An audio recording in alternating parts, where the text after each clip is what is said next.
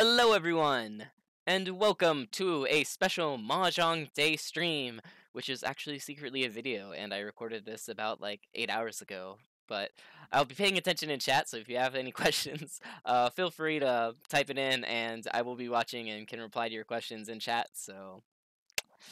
Yeah, I really wanted to do this as a stream, but uh, apparently the screen share software of the main uh, Riichi Central is kind of bad depending on the internet, so it'll be a lot cleaner if I just do a video. So yeah, I put out a straw poll to see what am I going to do for this cool Mahjong Day stream, and the winner was Mahjong Warm-Up Practices, which I've actually separated out into Mahjong Warm-Ups and Practices. So, without any delay, what is a Mahjong Warm-Up?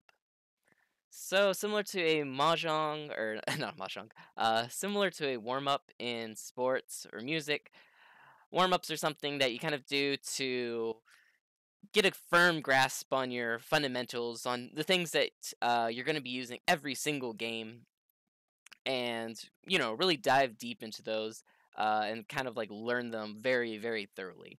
Uh, in mahjong, we also have fundamentals to the games that we use, and I'll be going over those in just a bit. Uh, in, I don't know, let's say music, you have your chords. In something like basketball, you have dribbling, you have your basic shots, layups, uh, free throws. All of these are fundamentals that you're going to be using every single game, uh, or every single like you know piece of music that you play, or every single like hanchan that you go through. Uh, there's something you can't escape from. It's something that beginners have to go through and learn step by step. You know, um, it's something that even like the really really good people, uh, they they can't uh, just like completely ignore them. Even like world professional like athletes and world professional, um, you know, pianists and musicians, uh, still go and practice uh, to a certain extent uh, these fundamentals every single day. So pretty important. Uh, next thing is practices, or mahjong practices. So similar to warm ups, except a little bit more uh, personalized. So these are something that you would do if you want to gain a certain skill, or if, in the case of mahjong, um, something that you really want to just get down. So I, I know everyone's had that feeling where you read Daina Chiba's uh, Riichi Mahjong Book One, and you're like, oh yeah, cool, this thing, and you're like, I know about this thing now, and then you jump into the game, and then suddenly you're not doing that thing uh, you know it, but you're not actually doing it. There's a dis- disconnection between what you know and what you do, and that's where practice comes into play. So, what practicing individual um, skills does is you're basically n- narrowing down the focus of kind of like what you want to do in, in the game. Because even if you're like, okay, I'll just pay attention to this some, uh, you know, whenever it comes up, but then you keep missing it and you keep messing up and you're just in a constant cycle of that. Uh, this kind of breaks that cycle. This says, okay, I'm going to be like focusing just on this, nothing else, uh, and I'm going to, you know, find all my mistakes that I'm doing with this, find why I, these mistakes occurred, and then go about fixing those mistakes. And you keep doing this and doing this and doing this until basically that skill becomes habitual. Uh, and once it becomes habitual, then it's pretty hard to mess up. You can still mess up, and if you never use that skill, uh, it's use it or lose it. But um, doing it this way means that you can finally get any of those like things you've been learning through like Daina Chiba's book or wherever uh, to a level of automaticity. And at that point, you're like, wow, you kind of like do it without thinking. Um, I guess a good example of this is like shanten counting. Um, whenever you're first starting out in the game, you have to kind of like, okay, like what well, how, how many shanten is this hand? You know, like gotta gotta figure that out. Of think about a little. Um, whereas if you look at pretty advanced players and then they're like, oh yeah, what's the shanten in this hand? They can just look at it and boom, just instantly say, oh, like it's this. Uh, they can play a game and know the shanten of their hand at all times without actually like, you know, consciously thinking about it. Uh, it's just something. It, it, it's like um, riding down the street and like looking up at like a billboard sign and you don't have to think about like oh what did these like individual words say? You just your mind just kind of like automatically reads it. Uh, so that's the same thing. You're getting these different skills to that point of automaticity and then of course you can go and add more skills and it's a never-ending cycle. All right so let's go to the next slide. Do, do, do, do. Mahjong warm ups. So, what are the fundamentals of Mahjong? Well, there's a lot.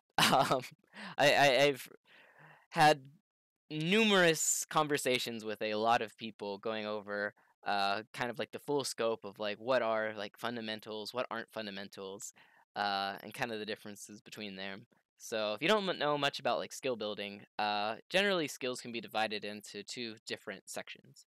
You have the hard skills, which are kind of like things that are always going to be the same. Uh, so very like technical skills something that you know you uh, during the early stages you'll probably have like a coach going over there and very you know minutely correcting like individual like aspects of it so like if we're talking about baseball it's like your swing uh, if we're talking about like basketball it's like your uh, the form of like you know your shooting hand and all that uh, if we're talking about i don't know um, like piano even like how you like sit your posture everything uh, these are fundament these are hard skills that um, usually you practice by doing it a lot and doing it correct. Uh, there's only one answer to like these skills usually, and um, yeah, the training for them is usually very repetitive and very like to the point.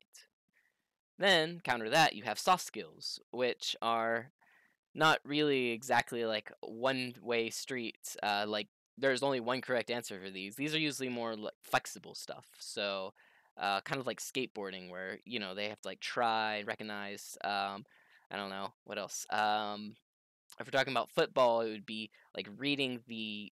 Uh, if if you're like the quarterback, you would be like reading the defense to see like where they're going, so they kind of know like okay, because this is happening right here, then like, oh, look, there's going to be an opening over here. You're recognizing different patterns. And then once you recognize those patterns, then you associate them to, uh, you know, basically whatever you should do because of those patterns. So it's like read, recognize, and react.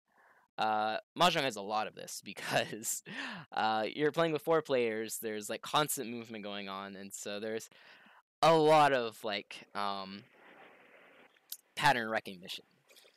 So when I was going through and figuring out like what are the fundamentals of mahjong, I was trying to narrow it down mostly to hard skills, things that are always going to be the same no matter what, uh, and then that you're basically going to be using every single game. So first off, tile efficiency. Uh, starting off with a bit of a weighted question. Uh, so what is tile efficiency? if you ask most people, uh, they'll probably say, "Oh yeah, it's that you know, it's that ukeire stuff where you just try to figure out how what's the most tiles that you can get to go to like the next shanten to get closer to tenpai." Yes and no. Um, so tile efficiency originally uh, was defined not as what is the fastest way to get to tenpai, but what is the fastest way to get to a winning hand, which is actually different.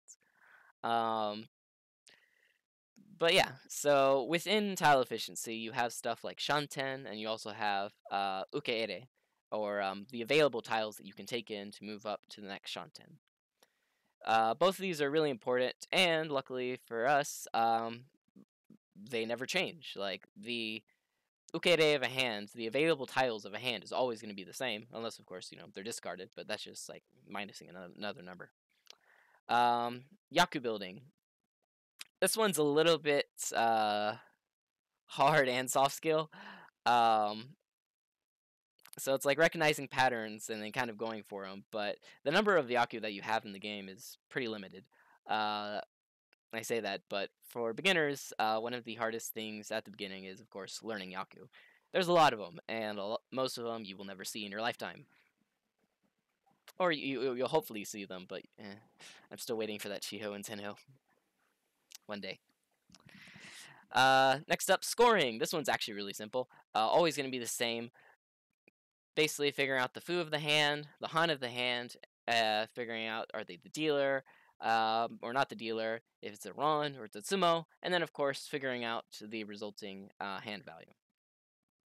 Defense. Uh, this one's hard. So base defense wise, uh, I hope you've seen what is called the defensive chart, which is basically a list of the likelihood of you to deal in with a tile against a certain threat, uh, based on like what that tile is. So if it's like an honor tile, if it's like um uh honor tile you can see three of, if it's you know a four, if it's a suji of that, if it's uh, nakasuji, if it's an edge, uh, you know, if it's an edge tile, whatever. Every single tile has a certain probability, uh, mostly from statistics, that it can deal into a certain hand. Now that's just like the base of it. Uh, if we dive deeper into this, um, defense is actually really really hard. Uh, it, it it's pretty easy to do like just like okay, but like to have really good defense, it's it's actually pretty hard. There's a lot of factors that go into defense. Um, anything from like uh, all the tiles that have been discarded, uh, like the number of tiles, but then you also have what are like the different discard patterns, what type of shapes could they end up with logically, um, who are you actually playing, what are the rule sets, uh, et cetera, et cetera, et cetera. So yeah, defense. Uh, is actually kind of difficult. You can do the you, you can figure out something for the base um, defensive chart pretty easily, but to go into a little bit more depth than that is a little bit harder. Um, score differences, uh, or I like calls like situational play. So situational play is something that you have to do based off like the current round and uh, the point differences that you have. Uh, the simplest one of these, of course, is Oras. If you are in the last hand of the game, and you are down by a person from a number of points, then you have to figure out what type of hand can you build or hire to actually get uh, to like where you want to be. So uh, that's actually something that is also you know really easy to figure out. Uh, just saying like okay, the differences between person A and person B are is this. One person is the dealer and one person is not the dealer. What is like the minimum hand value that you can ron them to move up to your next placement? What's the minimal hand value that you can tsumo to get to your next placement? And then if you can figure that out really quickly, then whenever you're building your hand in the game, ideally even before you uh, get into that final hand, uh, you should already know like where you're going and what you should be doing. So yeah, these are uh, some of the fundamentals that I'm going to be going over in my Mahjong warm-ups. Uh, if you want more info of these, um, a lot of these warm-ups I've been developing, I've also been teaching to a person I've uh, been teaching. Uh, her name is Esri, and she is a lot better at content creation than me uh, by a order of magnitude. So she has a blog, um. Go there, and she has written up uh, for each of these um, warm ups that I've given her a kind of like full, uh, in detail um, explanation of like how to set it up, how to do it, and so yeah, check that out. All right, uh, so let's jump into some of these warm ups real quick. First off, tile efficiency. Speaking of Erzi, uh, she is also an amazing programmer, and she has made this awesome site right here. Uh, let me switch over real quick. Wee which is the Tile Efficiency Trainer site. Oh, she's amazing if you if you don't know. Uh, all right, so what this site will do is basically to show you the ukeire of whatever you discard. So like, uh, whenever you discard a tile, we're just trying to figure out what is the fastest way to get this hand into Tenpai. Uh, but actually, we're not trying to figure that out. We're trying to figure out what is the best tile to discard to give us the highest number of ukeire um, each turn. So, uh, for my warm-ups, what I usually do is I'll go through these and I have to guess from beginning to end um, what is the Shanten, what is the best tile to get rid of, and then also what is the Ukeire uh, available tiles of each like decision that I make. Uh, and then I have the passing edition of I have to do three in a row perfectly, uh, and they have to be three Shanten or higher. Um, she also has an option in the settings to say like what is the minimum amount of like starting hand Shanten that you want. Uh, so you can change it to one, two, three. Personally, I like keeping it at one, and if I get like a one Shanten or two Shanten hand, those are just something I have to do and get it right, or I'll be sad. Um, so yeah, start out with this hand. So what do we got? So we got five, uh, 6. So if we count the Shanten, we can see one, two, three, four, five. Five connections in the hand, so that's 3 Shanten. Um, we have one block, two block, three blocks right now. So we're still missing two blocks. Um, so that means Kutsuki Tenpai, uh, or basically tiles that we can draw to connect to other tiles will move this hand forward. For instance, if we draw anything around this 2, that'll give us another block, um, and then that will move our hand forward into 2 Shanten. So, what do we discard? Uh, if we look at our connected tiles right now, these form a block right here, are three fives, so we got form block right here. Uh, this is a nice Tatsu right here. So our floating tiles are technically the 2, the 6, and the 9 Manzu, the 1, the 5 Pinzu, and 7 Sozu. Uh, each of these tiles basically has a number of tiles that they're connected to that will allow you to uh, draw and move to the next Shanten. So in the case of 2, we got 1, 2, 3, and 4. In the case of 6, we have 4, 5, 6, 7, and 8. In the case of 9, we have 7, 8, 9. Uh, in the case of 1, we have 1, 2, 3. In the case of 5, we have 3, 4, 5, 6, 7. And in the case of the 7 over here, we have a, what is that, um, 5, 6, 7, 8, 9. Plus, because we have this cool Tatsu right here, we can also take in a 1 and a 4.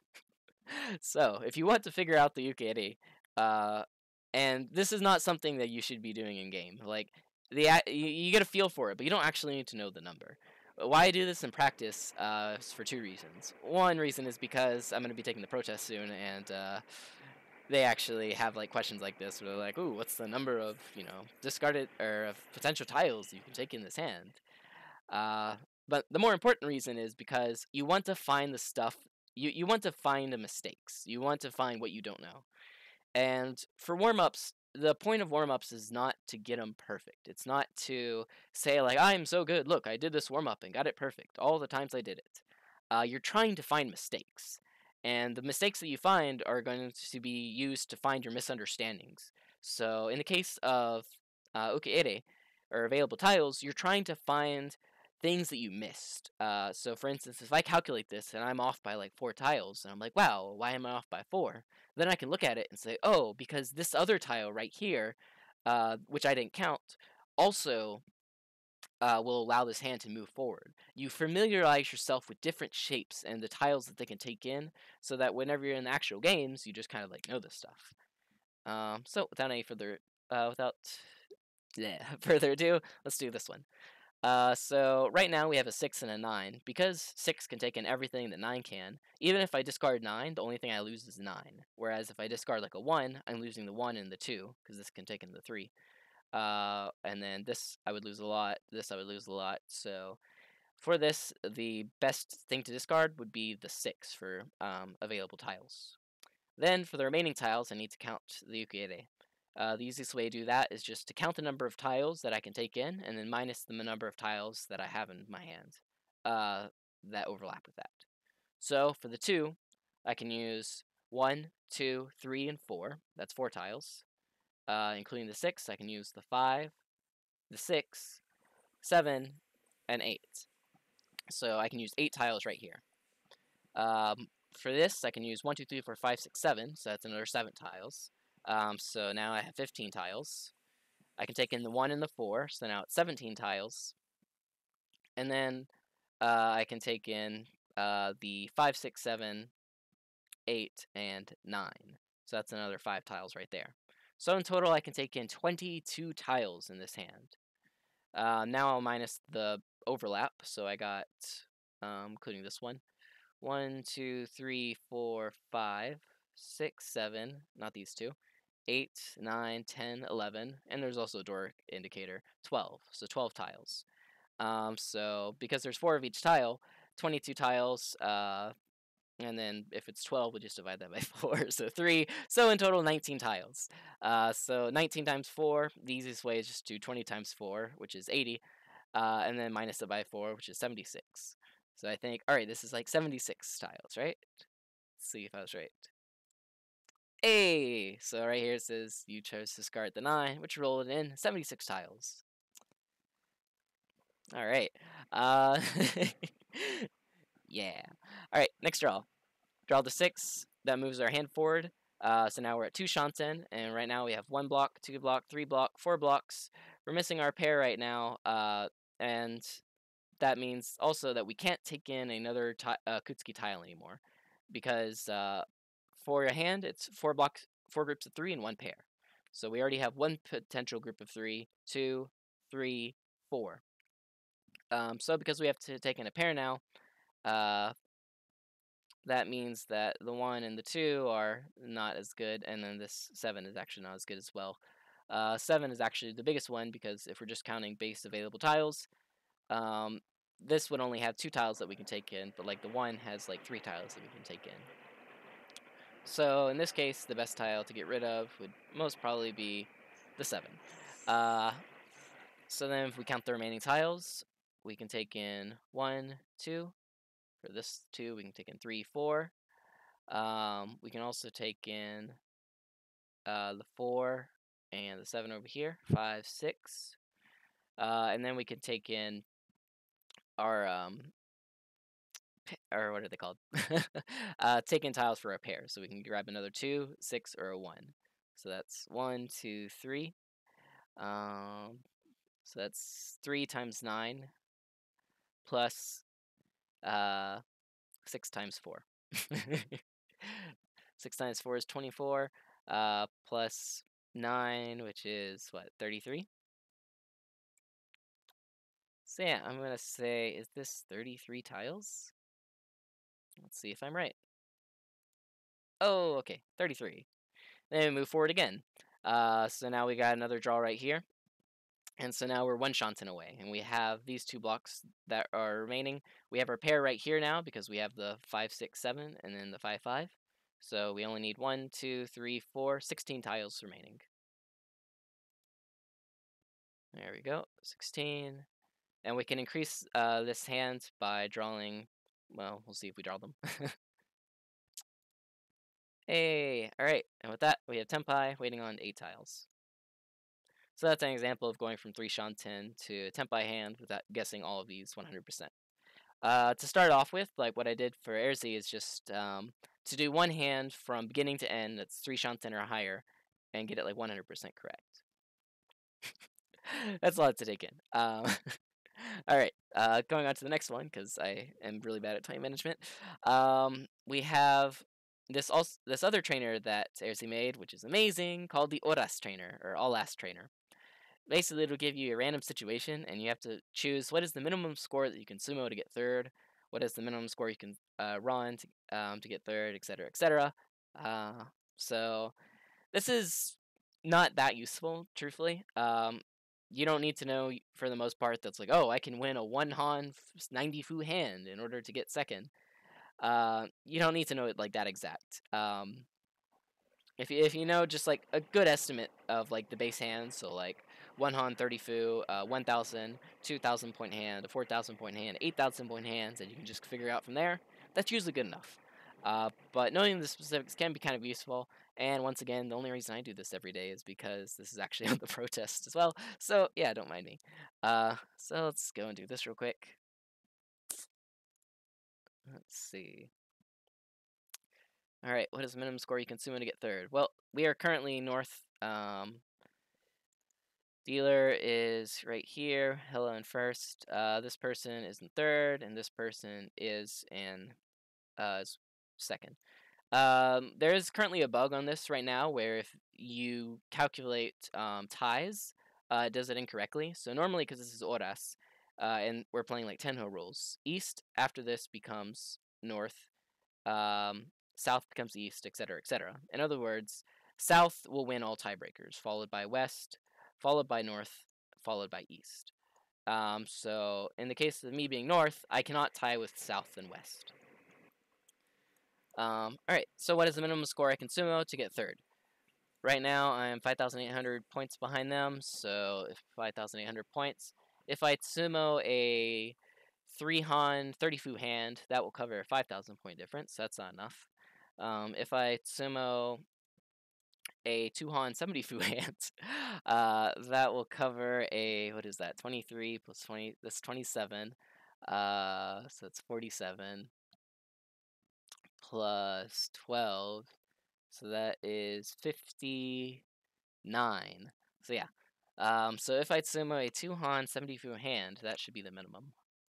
Correct. and it'll even show you right here. What's the minimum score I can ron? That's pretty easy. Divide this by 2, so 25, so 29.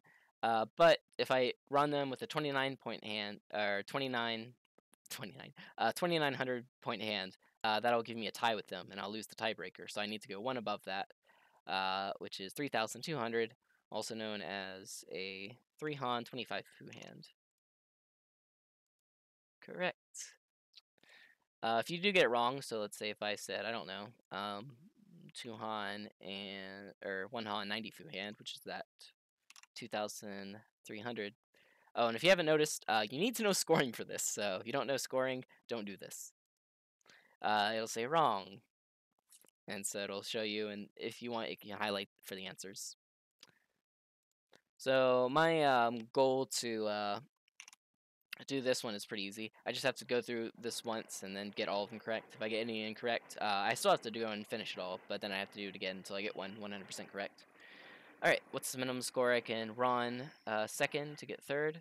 Um, 5,800 points, which if I ron them uh, second for, actually, if I divide this by 2, that's what? Um, 5,800 points. Oh, that's sad. Actually, wait, 5,800 points. Yeah.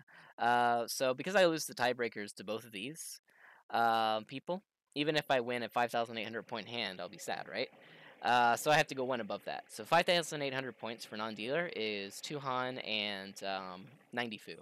So one above that is 2 Han 100 Fu, also known as 4 Han 25 Fu, 6,400 points.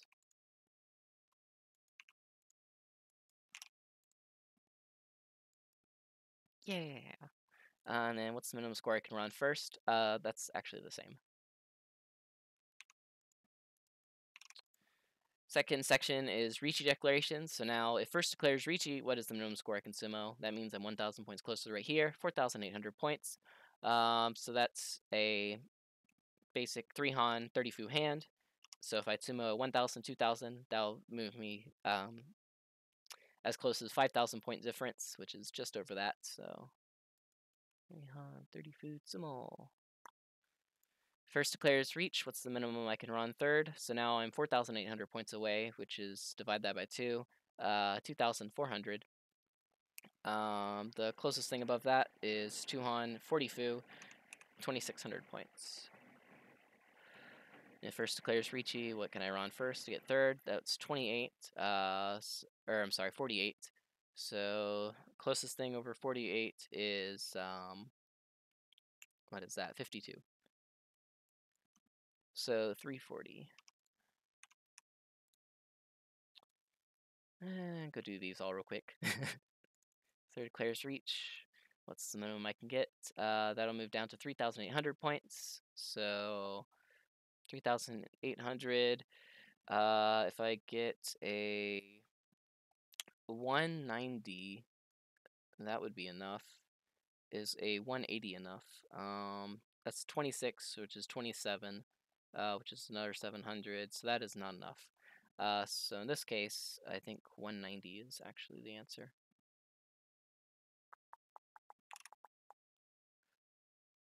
Yay! Alright, third declares reach, what's the minimum score I can ron to get third? Uh, so it'll be down to a 3,800 point difference, divide that by 2.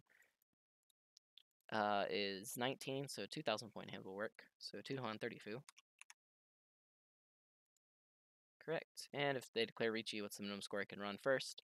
Uh, they'll be down to 3-8, so if I win 3-9, that works, so 330. Yay! And then finally, higher placements. What's the minimum score I can tsumo to get second? Uh, second's right here. They're both a Mangan tsumo, so I need a Haneman tsumo. So that's pretty easy.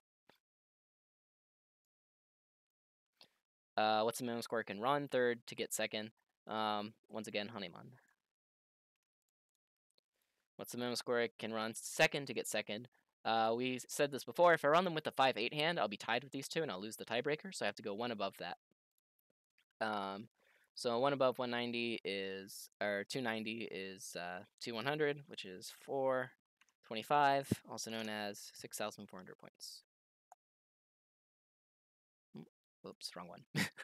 Make sure you answer the right question. Uh, what's the minimum score I can tsumo to get first? Dealer is uh, in first place, so that helps me a little. But even if I get a Baiman tsumo, that only covers 24,000 point difference. So I need a San Baiman. Whoa.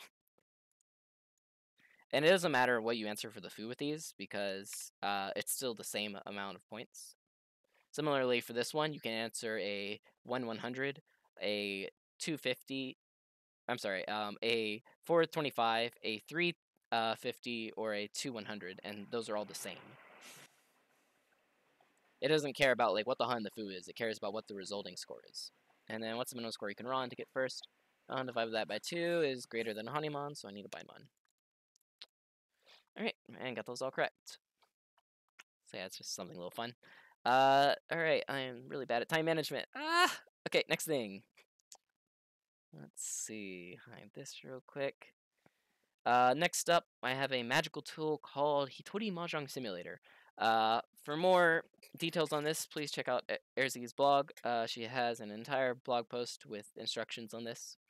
So this is a single person Mahjong indicator, and like I was saying before about tile efficiency, uh, you don't actually care about, you know, the ukeire exactly. You you care about how do you how can you get to a winning hand as fast as you can, and the way that you figure that out is usually a bunch of different like patterns and kind of like uh, rules of thumb, like having a good end shape, uh, building up your like five block theory, etc., etc. Uh, Hitori Mahjong Simulator is actually really, really, really good at uh, figuring that stuff out. And you can also use it for different Mahjong practices, which I'll go over a little bit later. Um, so right here, um, that's the extended version. Let's see. Do, do, do. Okay, so you'll have a hand, uh, and then you can ask that hand.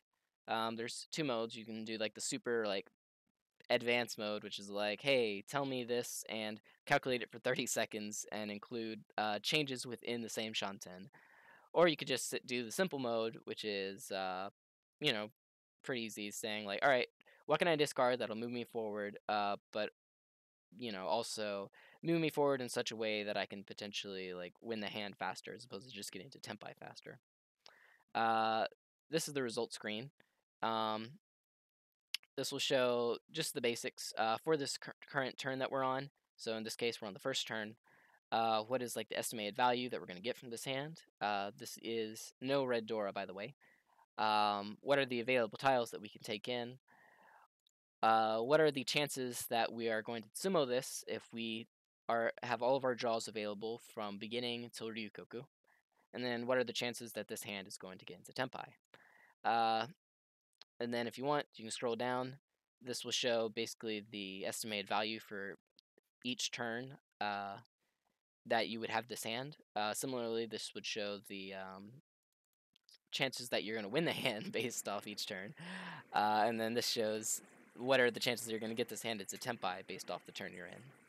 So if you have this hand, uh, which is also shown up here and down here, uh, if you have this hand and it is the 14th turn.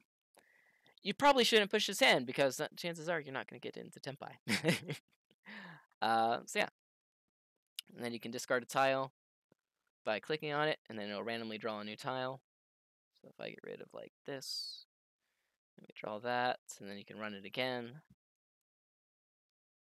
So it also has like a suggestion of like, okay, I think you should drop this. Um, if you notice the actual uh, Kitaichi, or the estimated value of these, is actually really close. So whatever you have, situations that you have in game can, you know, be like the deciding factor of like, oh, do I switch between like uh, this tile or this tile? Um, similarly, looking at the tiles in game and knowing like how many are there.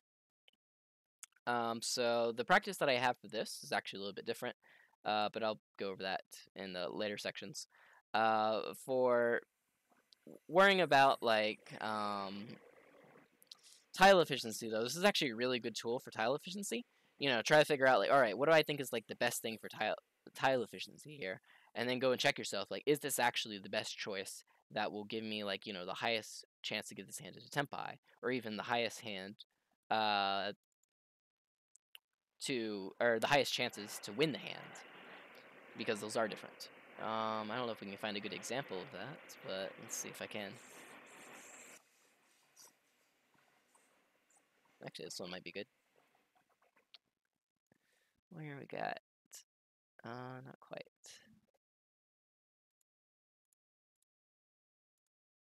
Discarding, discarding, discarding.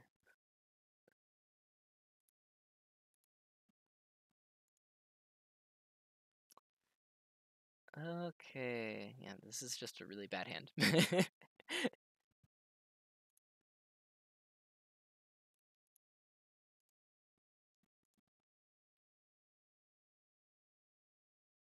oh, here we go. So this is like a slight example.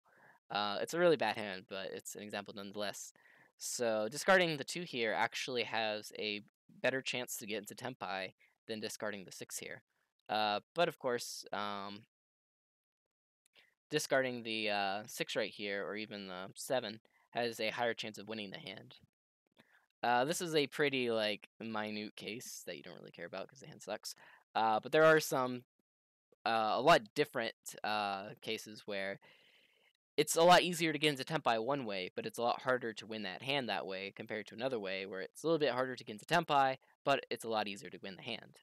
Uh, the biggest differences between these is usually your final shape. So this is a very good tool to kind of like do a little warm up and just gonna go through a hand and say like, all right, what do I think is the best way to move this forward? What what is the best way to practice tile efficiency with this hand, et cetera, et cetera. Okay, I am once again bad at uh, time management, so jump to the next thing. Tori Mahjong. Uh, scoring. Once again, go to Airzy's blog to get this app. Uh, so this is a scoring practice app which is a time scoring practice app uh, that will present you a hand. Uh, the rules it uses, I believe, are like Saikyo-sen rules. Um, so you have Kiriage Mangan, uh, etc., etc. And yeah. So first off, I assigned uh, Airzy the what is it called? Uh, task for this one to get a certain number of questions in a row 100% correct. Uh, then move that forward all the way up to getting all 15 in a row correct. And then after that, you can worry about time. So, like, okay, get all 15 in a row correct and have your average time for each question under a certain amount. So, I'll practice this real quick. Let's see, minimize that. Alright, so uh, click right here, start the game, and then you can do enter and use your keyboard from here. So it'll show the round wind, uh, your seat wind. It'll show if it's a Ron or a Tsumo or if there's a Riichi, the Dora right here. And then you have this right here. So this is just uh, Chinitsu only, so 8,000 points. And then it'll show your time, uh, and if you got it correct. If you didn't, you can go back and look at the question. And then you can even look at the scoring table down here. Uh, so this uses uh, total. So if, you say like um, Tsumo, with a um, 3 Han 30 Fu hand, 1,000, 2,000 points, the correct answer will be the total of that, so 4,000 points. Whereas if you're on with that hand, it's 3,900 points. So gotta be careful. Uh, so yeah, I'll just go through this real quick. Tsumo, so we got Tsumo Pinfu. No anything, so Tsumo Pinfu is 400, 700, which is in total 1,500 points. So we got Ron, uh, we're not the dealer, and so we got Pinfu Tanyao, one Dora, 3,900 points because we have no Riichi.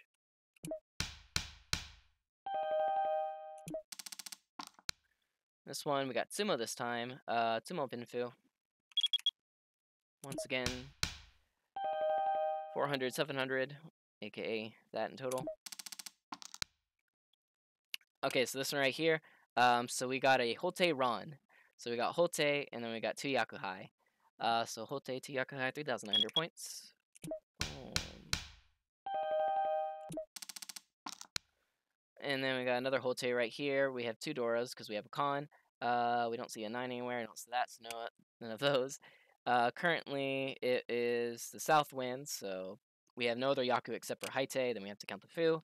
Um, 16, 4, 4, so it only goes over once. So that's just a 1,300 point hand because it's a Ron.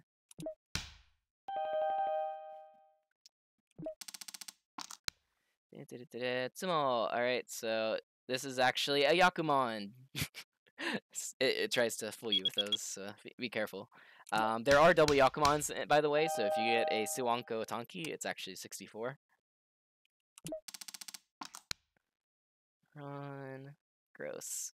Uh, so, yep, Nodora, and we got Ipeiko, and then we got Hellefu. Um, 16, 4, 2, uh, so that, and then we have the Menzen Ron, so that goes over a couple times, so we're at 2,000. One Han, 60 Fu. So this time we're dealer, so you have to change uh, the points for your dealer. Um, Dora, we have one Dora right there, nothing, nothing. So one Dora, and then Chun. Um, the Fu is not enough to go over uh, that, so it's uh, 32 plus 16, which is 48. Uh, so 48 is 50, which is 70, so 270, which is 45. Oh no! But then you're like, oh shit, wait, I was dealer! Ah! And so it was actually 68. And whenever you get it wrong, it'll show that little like, blah blah. Yeah. Uh, so you got a Ron, so this time we got also got a kan, so you have to count that Fu.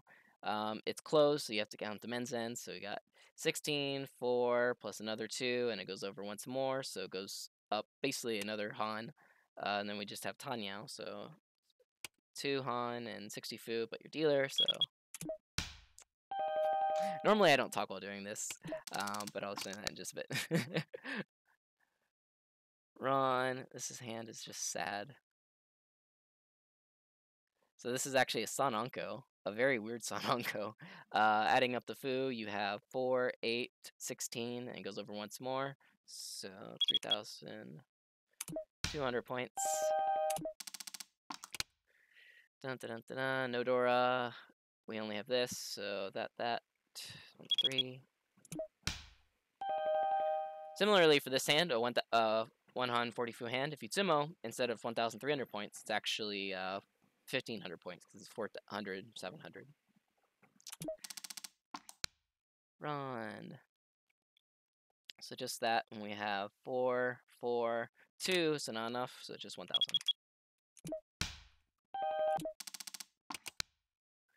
Ron, so we have 3 Dora right here, because we use Kiriage Mangan, it goes up to Mangan, so we have 8,000 points. And then finally, last one, we got double Nan right here. So one, two, three.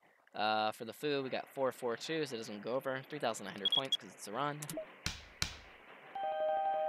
And then at the end, it'll show you, uh, this is your average score, what was your fastest, um, how did you do, what, what like percentage did you get, and then your Dan ranking, which is ambiguous. Uh, So yeah, um, for my practices, usually I'll have to go through and do like 30 uh, 100% correct in a row, and then follow it up with that by doing a number, uh, another like 15 in a row correct under a certain um, time, uh, which is usually about like six seconds on average. uh, naturally, when I'm doing that, I don't talk. so yeah, that's the scoring app. That's pretty nice. Um, alright. Next up, what do I got? I am really bad on time. Uh, next up, scoring practice, or not scoring practice. Um, next up, I got a practice on Tenhou. So this one will use uh, the bot mode right here. And this is basically a Mangan Shibari mode. So basically I have to win a Mangan. Uh, but the way I do it is, I, first off, I have to win something that has at least um, a what is it? Uh, thirty percent ch- uh, thirty percent plus Mangan chance.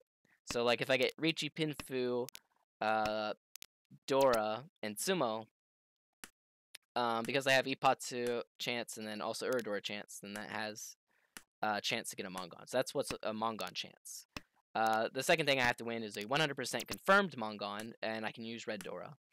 Uh, the third one is I can use a, uh, without using any Red Dora, or not counting them at least, you have to make a confirmed Mangan.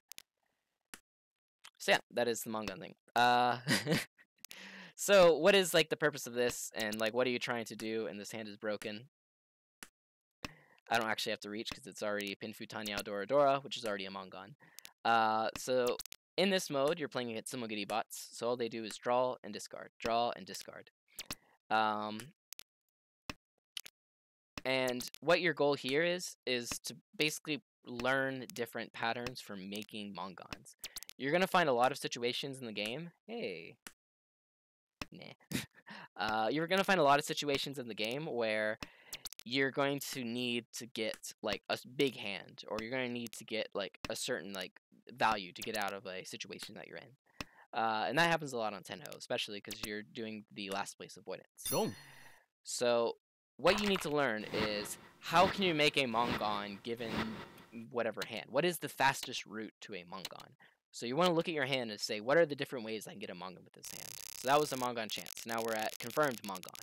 If I want to get a confirmed Mangan, I need, let's say, Riichi Tsumo and at least two Dora, uh, or, or two Han. The Dora right now is a very hard to use north or ugh, east, so I have to figure out like, all right, how can I make this hand into a Mangan? Uh, technically, I have three blocks right now for Honitsu. That's kind of hard. If I get into seven pairs and I get the door tile, um, or I get like Tanyao or something, then that would work. Um, so I'm right now balancing between like, okay, I could potentially even go for uh, Honitsu. If I get Honitsu closed, um, then I can Riichi and that'll be enough. I can technically move over to Sanshoku, uh, which is actually another possibility here. Um, you want to think of, like, what are the different, uh, uh, what are the different ways you can get uh? And similarly, you can call on this. So these are all Tsumogiri bots, and you might say, well, can't you just like you know call for Honitsu every time? Yeah, you can. Um, similarly, uh, if you play a real game, it's actually not much difference if you have a hand that's really good for Honitsu and people are just dropping tiles because they don't know what Shibari is. Boom. Uh, so because I have the Dora right now, if I get Honitsu Dora Dora uh, on like a Tanki, that would be a potential Mangan. Uh, and it only counts like for a Mangan if you win the hand. If you get Tenpai with it, then doesn't matter. Uh, keep doing this until you win, um, you know, however many steps that you're at. So for Airzy's practice, uh, I believe she has to, mm, uh, uh, yeah. Chi. Uh, yeah. No, that was actually incorrect. Um, she has to win uh, a Mangan chance and then followed by a 100% confirmed Mangan. Uh, in my practice, I just go one above that, which is also throw in a 100% uh, confirmed Mangan without using any red Dora. Which is basically kind of like what the stand would be. And of course, if nothing happens, game goes. Uh, for this bot game, it'll end whenever you get into South um, 4 and someone's over 30,000 points. And then when the game's over and you still haven't done your, like, you know, completed your task, you just jump into another game and keep going. Uh, so the big thing here is that you want to look at like different patterns. You don't want to just make a choice. You want to figure out like what is like the best choice for this. Like look at your hand, scrutinize it. The time is pretty quick, so you have to like go and think about it. Uh, like what is like the best choice that you can do. Um, similarly, because you have all these delicious discards right here. Hmm. Uh, that's unfortunate. Um, because you have all these discards, you can also do other Mahjong practices in this mode as well, uh, outside of just this like warm-up drill. So in this case right here, I would love to go for Honitsu, but I'm missing um, the components to get it to a confirmed Mangan. So this is my round win, but if I pon like the west, I still need some other round win. If I stay closed, I have the option of going for Riichi or something. I can also take in the red 5 uh, if it comes. Um, so right now, this hand could actually go Pon Pon. I could even move over to a uh, Mangan, or not Mangan, Toitoi, uh, but I'm still missing that last pair, so I'm going to opt for ignoring those and going for the Menzen round instead. If I get the red 5, uh, then I can use that. So right now that's discarded.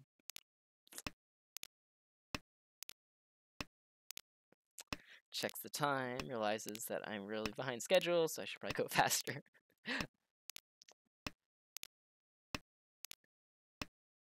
So if you look on the board, you don't see any of the fives right now. That's pretty nice. You don't see any of the eights either, so that's pretty nice. But we only have one draw left. Uh, so now if I pon, I can get Haitei Tsumo, and that would work as well. Because I have one draw Pon. left. If the red 5 comes out, I can also ron on that. Uh, and that would work. Uh, for this, I have like just the rule that you can't use kan, uh, so you can't add any Moradora. Uh, so I didn't get the Haitei, so. Yeah. Alright, so that's basically that drill. uh, and for...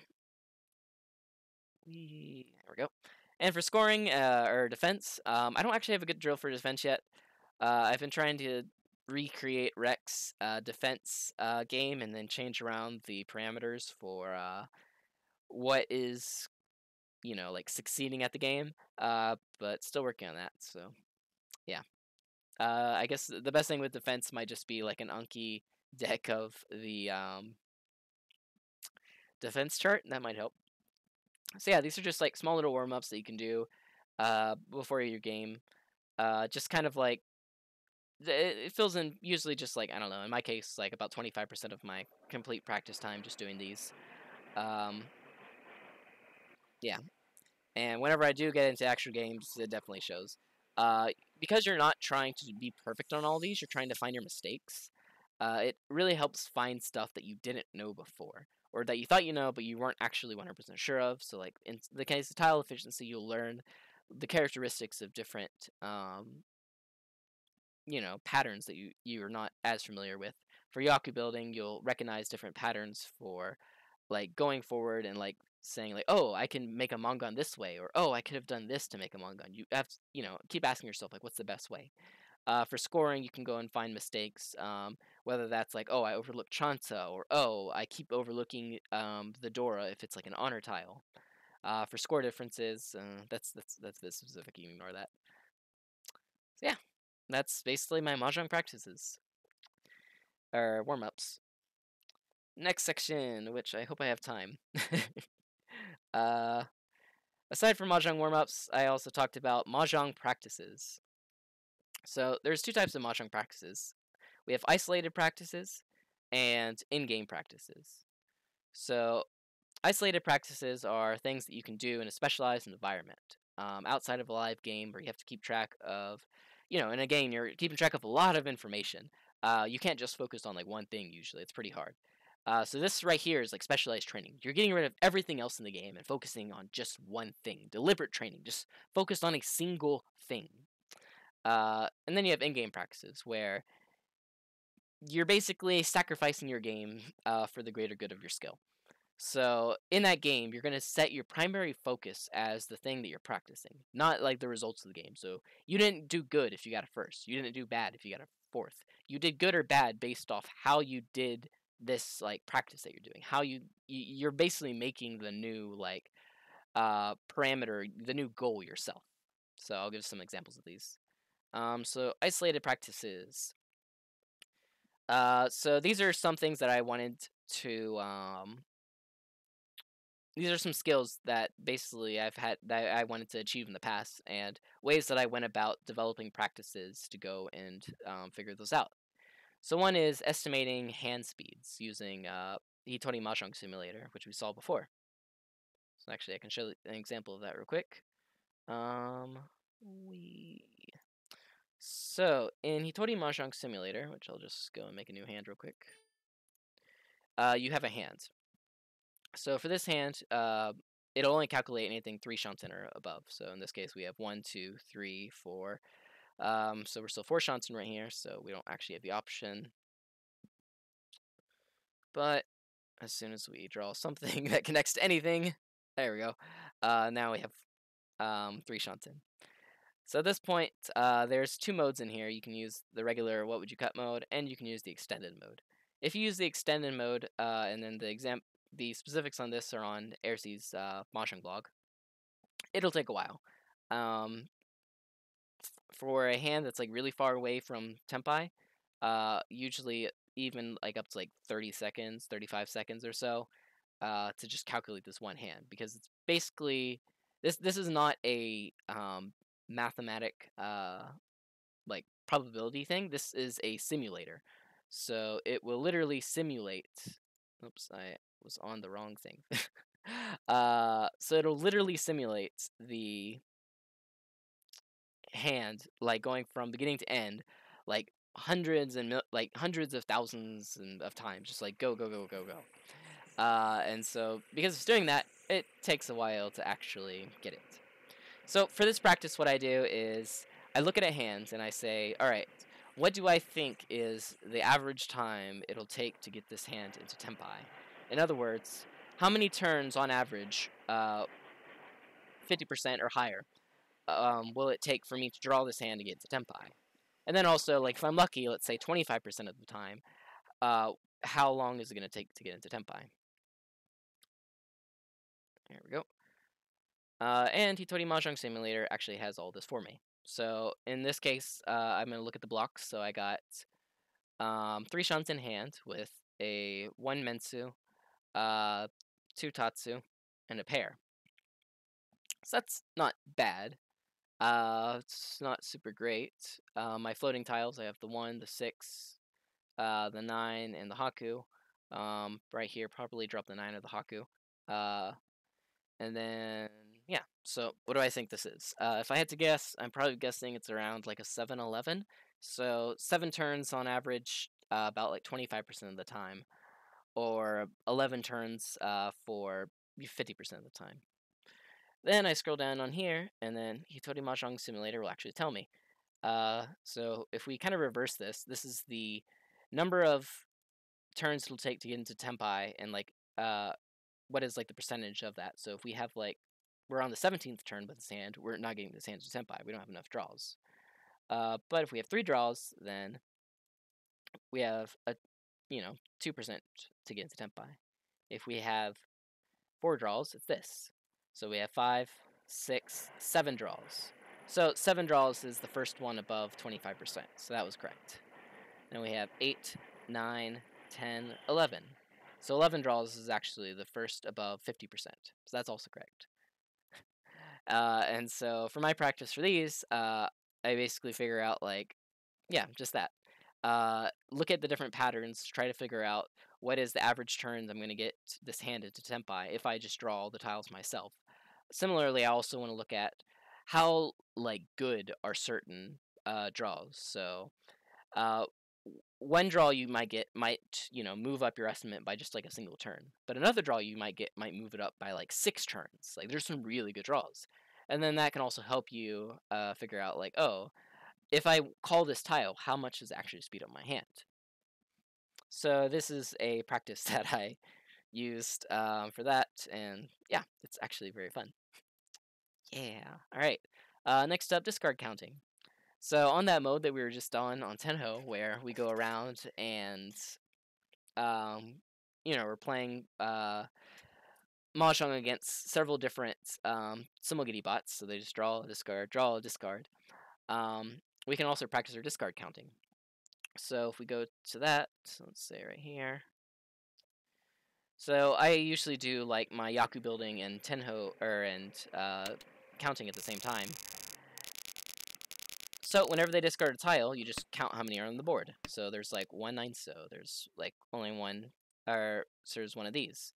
Uh, but more importantly, you care about like how many uh, remaining tiles are there. So in this case, it's like three, three. Well, technically two if we count this. So three, and then yeah, uh, knowing the exact number of discards is kind of useful uh, for a number of things. Uh, usually, you don't have to like know it all the way unless you're trying to be insane like me uh, and trying to use this for another skill that you're trying to build up. Um, but yeah. Uh, so you can also do that in game, but of course, whenever you're in a game, it's a lot harder, right? Because you're trying to keep track of everything that's going on. You're trying to keep track of your opponents. You're trying to keep track of your, you know, your hand, your score, how much you need.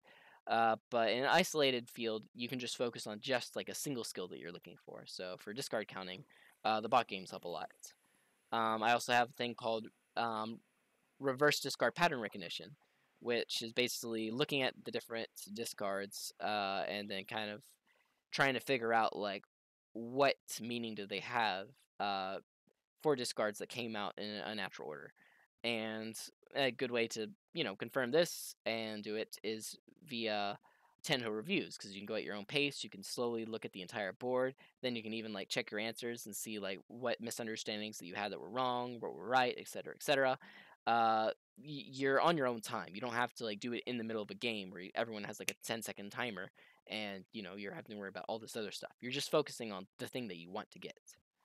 Um, internalizing hand patterns. Um, Xkime mentioned something like this before as well uh, where you have like an unsorted single player mahjong. So you just sit down at like a table. You have an unsorted hand. You flip it up, and you just kind of like play from beginning to end without sorting your hands. Uh, what that can do is help uh, basically internalize the patterns in your head, so that you're not having to spend as much time looking at your hands, and you can spend more time looking at the board. Similarly, uh, mind branding practice is a practice where you have a set of tiles um, you have them flip down, and then you flip them up, look at them for like a number of seconds, and flip them back down. Then you have to basically say what were all the tiles in your hand. Uh, this is actually a practice from uh, Katayama Sensei's uh, manga. The same guy that uh, wrote a manga that the majority of Daina's uh, Book One is written off, is actually based off of. Uh, and so this also helps you like you know be able to like remember tiles in your hands. Uh, which for like in real games it helps you remember like oh yeah I was in this situation and I had like this hand. Uh, for a little bit more practical situations, um, it can help you uh, basically know your hand without having to constantly look at it so that you have more time to spend looking on to other people's hands. So yeah, those are some example of isolated practices. And then, going on to the next thing, we have in game practices. So, these are things in game. So, some practices are really hard to do uh, outside of an actual game. So, what you do instead is you do an actual game, and then instead of just like, I don't know, um, worrying about like, oh, I got first, oh, I got fourth. You're worrying about your specific um thing that you're doing. So let's say you have a really bad habit of like pushing your hand when you shouldn't be pushing your hand. And you you look at the review and you're like, wow, of course I shouldn't have been pushing my hand. What am I doing there? That's stupid. Uh, but you keep making that mistake in games. So you're like, all right, how do I fix this? So this is one thing. This is like one example I did in the past. Uh, push pull. So every single time I draw a tile, I have to ask myself, like audibly ask myself, uh, should I push this hand or should I, you know, be folding right here? So I have, it's, it's basically every single time I'm asking, all right, look at this situation. Do I, should I be fighting or should I be running away? Then I have to answer, you know, fight or run and then go through with that. And then do that for every single discard for ev- or for mine. For every single discard across the entire game, you're constantly reminding yourself, like, all right, do I fight or do I run? Do I fight or do I run? Uh, and then how you did in that game is not necessarily like, you know, yeah, oh, got first or fourth. It's, all right, did I ask myself every single time, push or pull? Did I actually look at the information? Did I actually answer to the best of my ability? Yes? Great, you did good. Continue until you don't have to. uh, another example is opponent push pull after like a Riichi uh, or a Dorapon. So let's say someone declares Riichi. After that point, I look at every single opponent's discards and I say, what was that discard that they dropped? Was it a safe tile? Was it like not a safe tile? If it's not a safe tile, what what does that mean? If it is a safe tile, like how like what type of safe tile is it? Are they pushing or are they pulling? Are they fighting this reach or are they not fighting this reach?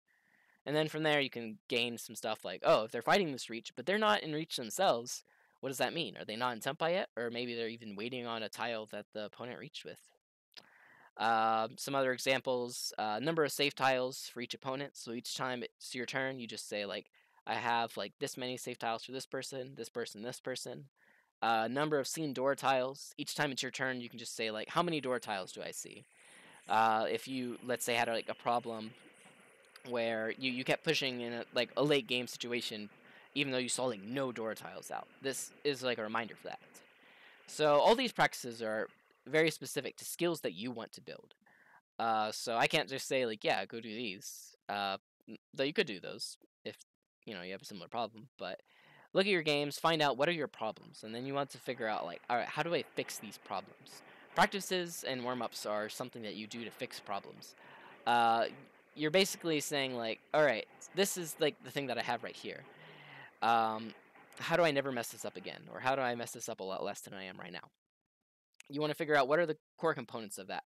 What makes up like this thing that you're trying to figure out, and then step through it and finally say like, okay, like this is the practice that I made for this. This is the way that I, I, I feel as though I can get rid of this problem from um, you know, if I do this. And then you basically practice it until you have a new habit that just kind of like overrides your old ones, and et cetera, et cetera, et cetera.